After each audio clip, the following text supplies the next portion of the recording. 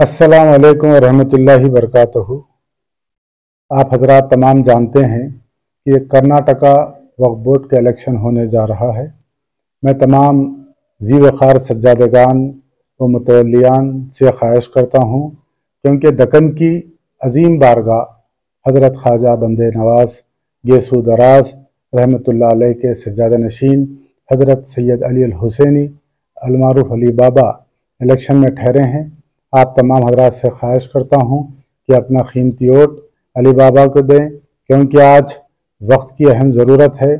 वक्फ अमला की हिफाजत के लिए, सियानत अवकाफ़ के लिए, खुद सज्जादगान और मुतवान की नुमाइंदगी के लिए ऐसी शख्सियत का वक्फ बोर्ड में रहना ज़रूरी है, ताकि मुतलियों के हकूक़ भी बरकरार रहें, सज्जादगान के हकूक़ भी बरकरार रहें और वक्फ अमला की हिफाजत हो।